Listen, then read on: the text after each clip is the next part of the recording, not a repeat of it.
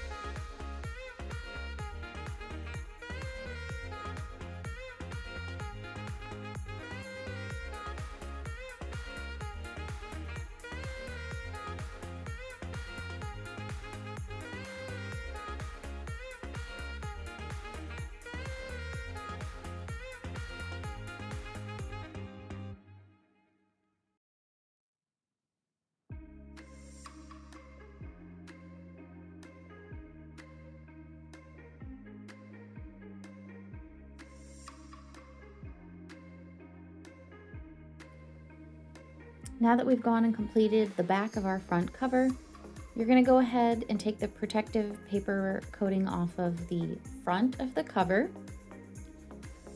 I'm gonna go ahead and give it a light sand. You don't have to go crazy.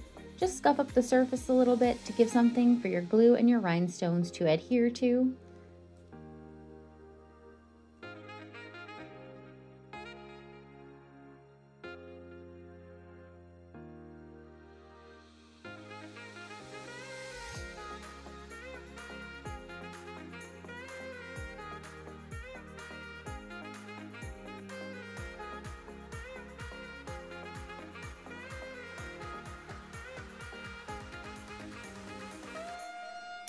Perfect, now that we've got the shiny finish, sand it off. I'm gonna be using a rub-on transfer from Southern Belle Designs. This is part of the Rescue Me series. This uh, collab was with Diamond Fire and Mizzy's Doodles. They came in the Diamond Fire Rhinestones Premier Pack and if you guys know me at all, I'm absolutely obsessed with dogs and very passionate about dog rescue, especially seniors, and a portion of the proceeds from the sale of the mix that came in this pack will go to Senior Dog Rescue. So you're just gonna go ahead and cut out one of those decals. I'm gonna trim the edges a little bit. It's really not necessary. It's a clear backing.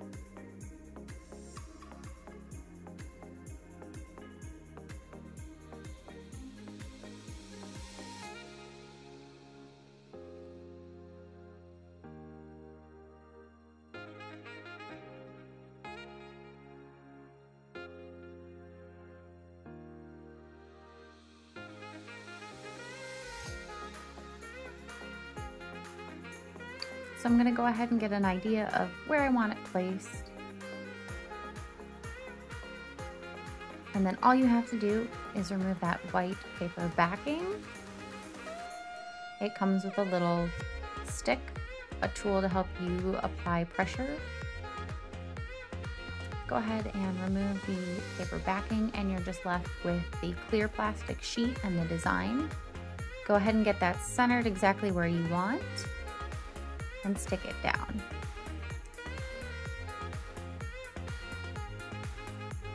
Go ahead and use that tool and apply gentle to medium pressure, rubbing over the whole design.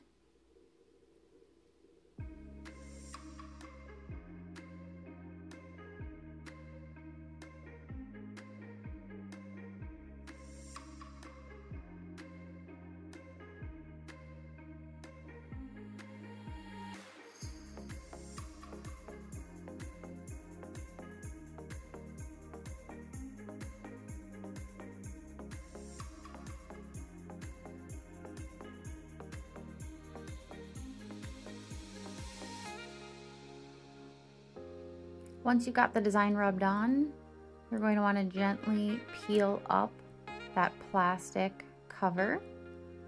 In this case, it, I used a dental tool to get under that edge. If you haven't rubbed hard enough or applied enough pressure, you'll see that plastic start to stick a little and pull up the design. So as I pulled, I added a little bit extra pressure.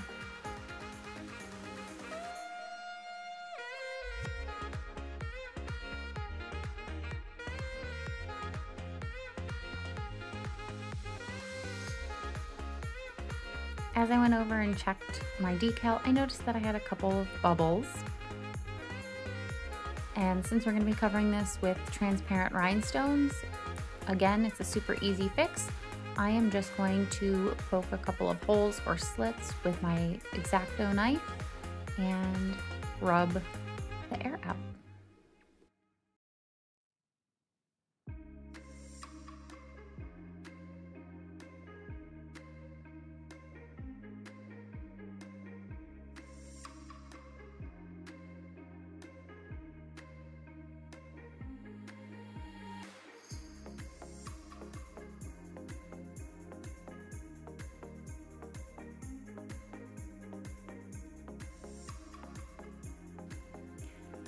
So you're going to need transparent rhinestones. I used SS20s to go over the decal, and then you're going to want a bag or two of a mix size to go around the decal. I prefer to use Bob Smith Slow Cure Epoxy. You just need a pea size of each part, and you can mix it directly on a post-it note with a silicone mixing tool.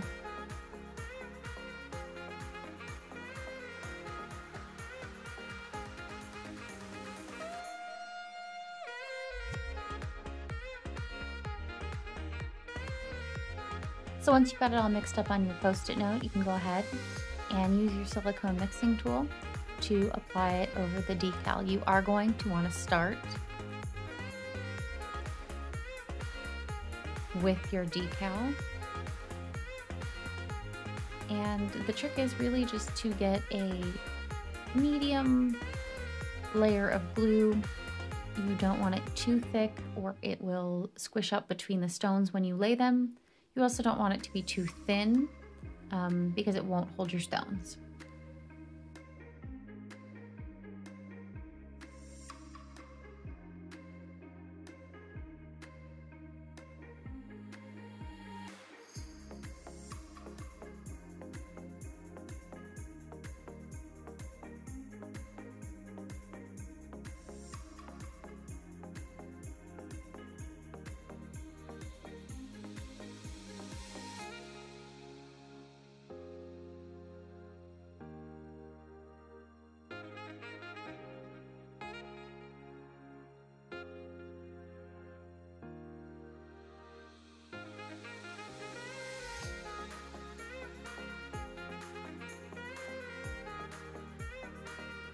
All right, now we've got all of the transparent stones applied over our decal. We're gonna wanna go ahead and just do the same thing. Mix our glue and apply our stones with the mixed pack and just go around the decal, filling in all of the spaces. I am using If You Know You Know mix from Diamond Fire Rhinestones.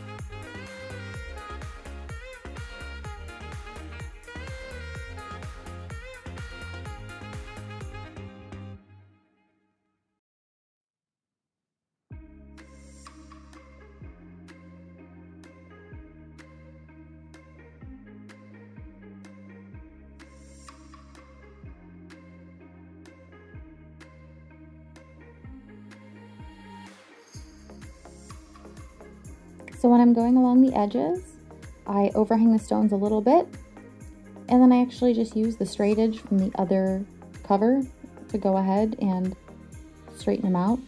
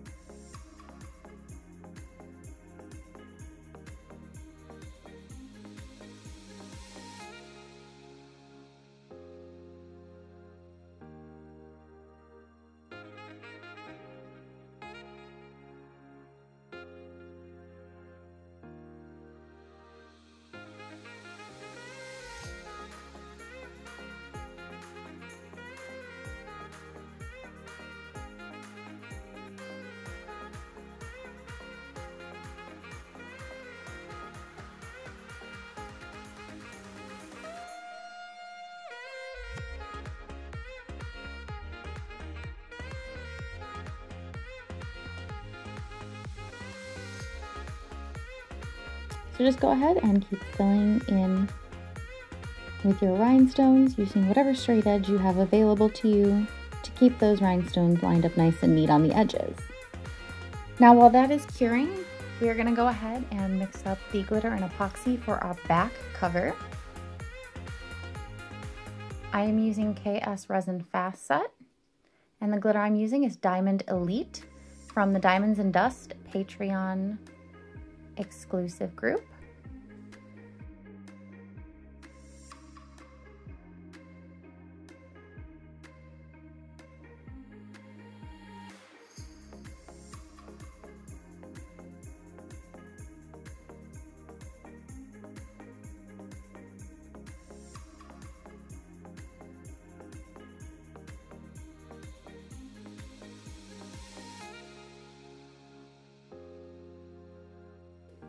This glitter is absolutely gorgeous and one of my favorite pinks.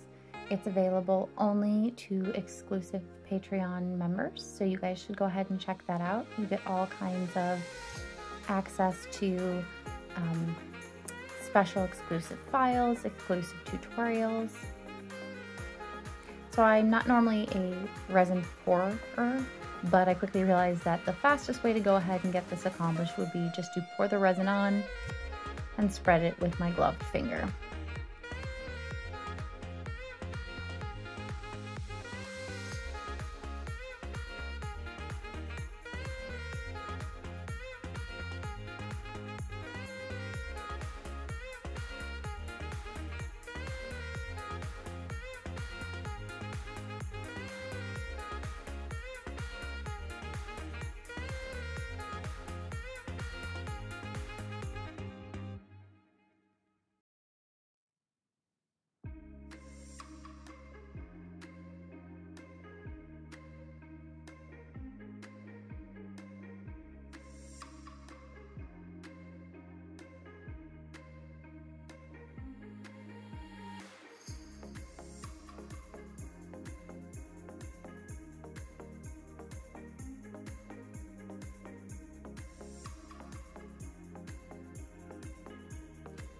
Now I've got that applied, I'm gonna go ahead and sneakily try to remove that glove um, one-handed so that I can use my favorite little handheld torch from Menards to torch out the bubbles.